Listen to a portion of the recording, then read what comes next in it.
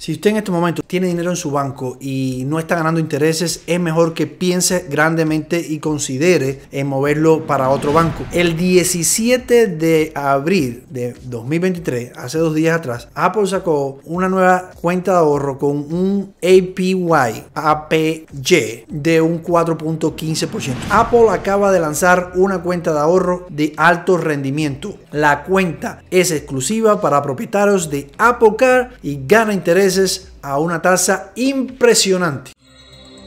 Si usted en este momento tiene dinero en su banco y no está ganando intereses, es mejor que piense grandemente y considere en moverlo para otro banco. Un banco que te pague intereses por tu dinero que está ahí guardado. La mayoría de los bancos grandes, por ejemplo, Bancos América o el Fargo, Chase, te dan un 0.001% o 0.1% de interés al año por tener tu dinero ahí. El 17 de abril de 2023, hace dos días atrás, Apple sacó una nueva cuenta de ahorro con un APY, APY de un 4.15%. Y eso se ha hecho viral. Y eso, mi gente, es de lo que vamos a estar hablando en este video. Así que mantente tight porque vas a estar aprendiendo un poquito más como yo tuve que aprender para hacer este video. Bueno, de Wall Street Journal sale con este artículo. Dice, Apple acaba de lanzar una cuenta de ahorro de alto rendimiento. Esto es lo que significa para usted. La cuenta es exclusiva para propietarios de Apple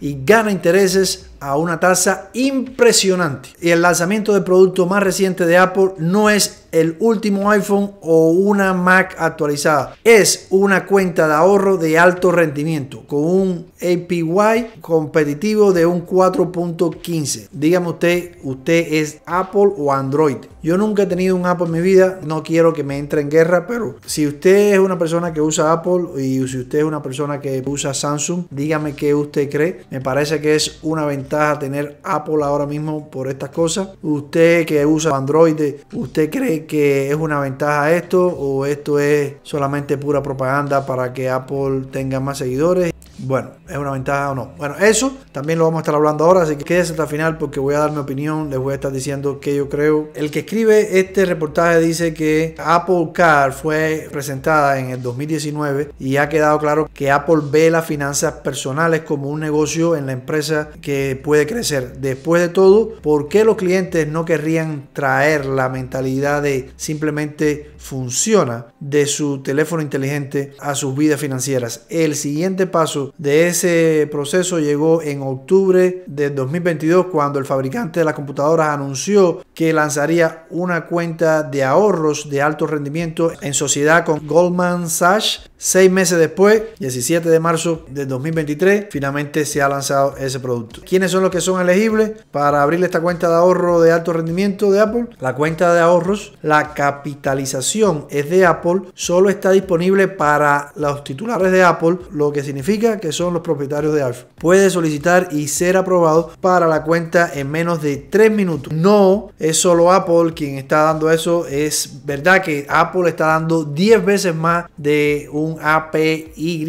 eh, lo que se dice en inglés APY, que el average de todos los bancos como Banco América y eso, por lo menos Banco América da muy, muy, muy poquito porque le cuesta dinero, le cuesta salarios a los bancos grandes de tener esos bancos. La mayoría de la gente mayor está acostumbrado a ir al banco, sacar y meter dinero. En estos momentos, yo te puedo decir que voy al banco, si voy cinco veces al año, es mucho. La verdad que todo el dinero se recibe ahora por cuenta directa y se paga por tarjetas de crédito, tarjetas de débito, se maneja todo online. Pero todavía sigue muchos bancos físicos y estos grandes bancos como Banco América, Chase el Fargo gastan mucho dinero en pagar los edificios, la tierra y todo lo demás, por lo cual no te puede dar esos APY como te lo está dando Apple o estos bancos que estamos viendo aquí, como son USB Direct, Banco Primera Fundación, Bread Financial, Banco Vasco, Popular Direct, que te está dando, por ejemplo, este te da un 5.02, este Banco Primera Fundación te da 4.5, Bread Financial 4.5, es decir, todos estos te dan por arriba de Apple que te está dando el 4.1, tienen condiciones, más o menos, tendrías que buscar. Acá también tengo otras instituciones que también puedes considerar, Wealthfront 4.30,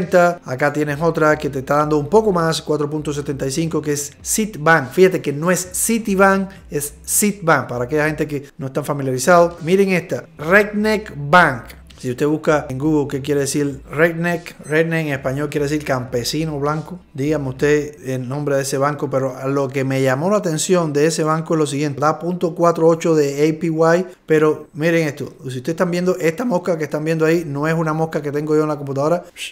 Si le cago otra con el mouse, esa mosca se mueve. Verdad que la creatividad, la competencia es mucho. ¿Y quién se le ocurre poner en una página web de un banco una mosca? Pero bueno, 4.80, nada mal. Y bueno, ya viste que hay competencia. Apple no es el que más está dando. Hay otras, pero estas compañías todas son online. Y bueno, aquí está el anuncio de Apple. Una de las cosas que quiero poner a conocimiento de ustedes es que quién es Golden Sachs. Golden Sachs es una empresa multinacional de servicios financieros y banca de inversión estadounidense fundada en 1869. Es considerada una de las instituciones financieras más importantes del mundo y tiene sede en Nueva York, con oficina en otros centros financieros internacionales. Golden Ofrece una amplia gama de servicios financieros, incluyendo banca, inversión y gestión de inversiones y valores. Bueno, mi gente, la desventaja que tienen todos estos bancos que están dando grandes cantidades de API, es decir, si tú tienes 100 dólares en ese banco, te van a dar 4.15 para atrás. En el caso de Apple Bank, yo creo que sí, por supuesto que es una ventaja para aquellas personas que usan Apple, pero no sé por qué son tan egoístas y tan así de que, oye, solamente la gente de Apple tienen que abrirse a personas que realmente no usan Apple. Nada en contra de la gente de Apple, pero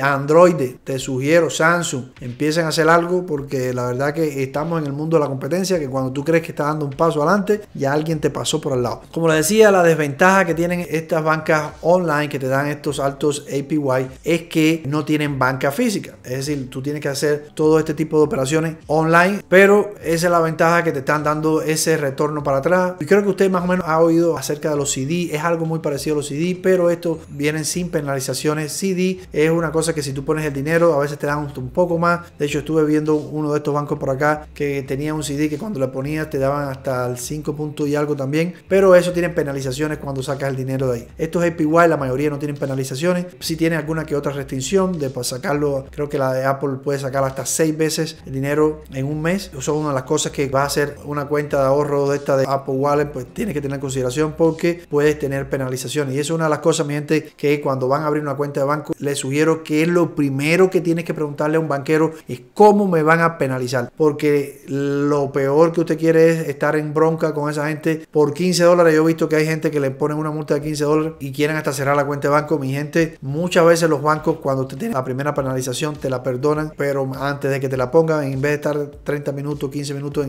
por teléfono, lo que le aconsejo es que siempre que vaya a abrir una cuenta, vea las letras chiquitas, hable con un banquero y diga cómo yo evito el fee. Sí, porque todos los bancos tienen un fee cuando usted no hace esto, esto, esto. Bueno, ahora yo quiero que usted me diga si vale la pena, si usted tiene dinero en un banco, por ejemplo, yo tengo dinero en Wells Fargo, tengo dinero en Banco de América, tengo dinero en US Bank, vale la pena sacarme dinero de esos bancos y llevarlo para mi Apple Wallet para ganar un poquito más de interés. Si yo no tengo Apple o si tú tienes Apple, valdría la pena pasar ese dinero para allá. Yo que no tengo Apple, no lo pasaría para ganarme eso. Eh, de hecho, también hay otros, si realmente mi interés es de ponerlo ahí. Hay otras instituciones bancarias que no es Apple y que pagan más que Apple y son bien reconocidas. Ya les enseñé algunas de ellas. Dígame usted que es de Apple si vale la pena sacar tu dinero del banco y ponerlo en Apple para que te dé interés. También date cuenta que si tú realmente quieres invertir dinero, puedes invertirlo en la, bolsa de valores. Este dinero que vas a invertir en Apple Wallet no es penalizable cuando lo saca. Cuando usted invierte en la bolsa de valores, usted tiene que pagar un fee cuando va a vender para recoger dinero. Date cuenta que puedes perder y, puedes ganar cuando estás apostando la bolsa de valores. No es